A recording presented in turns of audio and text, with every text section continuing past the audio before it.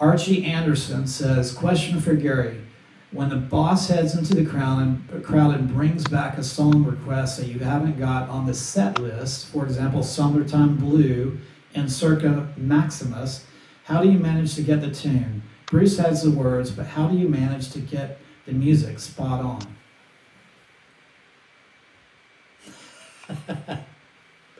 That's the only answer to that. You, you play the song. If you don't know the song, you can't play it. But if you know the song, everybody knows. I mean, okay, we know a lot of songs. So, how many songs do you have to have right up here when you hit the stage with the E Street Band? Somewhere Is around there a number? 1200. I figure around 1,200. 1,200 songs. Well, he's got 500 himself. and 700 covers, that's about right. Um, We don't play them every night, but you got to have them because you don't know what's going to be thrown at you. Or what's going to be thrown at you, I should say. so Yeah, uh, there's no way to prepare for that. We do have, um, in, in that case, we have people below uh, stage who are, as it's going on, they are getting up the lyrics for these songs, and they will have them on the teleprompter by the time you, by the time he counts one, two, three, four, the words for the song are on the teleprompter. So people are, are busy, but there's really nothing I can do. I can't go to Google and, and say, what are the chords for uh, Summertime Blues? Uh, either, you, either you know them or you don't.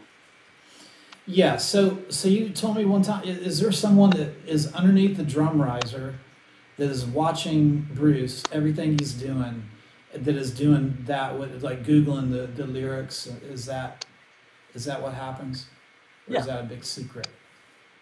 Oh, is that a secret? I don't know if it's a secret. If it's a secret, I'm sorry, but yeah, uh, he he can't remember all those words. I can't remember the words to my own songs. Because I saw you sing, um, I saw you guys do "Jump" by Van Halen on YouTube. You did "Jump." I think Roy, you know, went into uh, the the keyboard part, and then you guys just fell in. Are are Go, Kevin. what's that? it's not that difficult.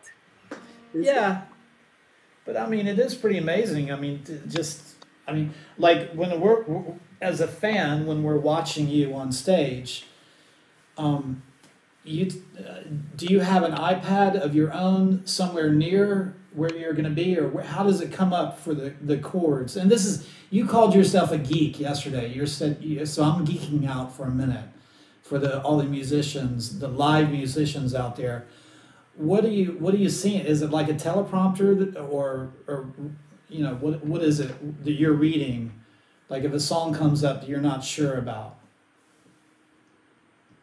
Fake it. fake it till you make it mm-hmm. I have two. I have two rules. When in doubt, lay out.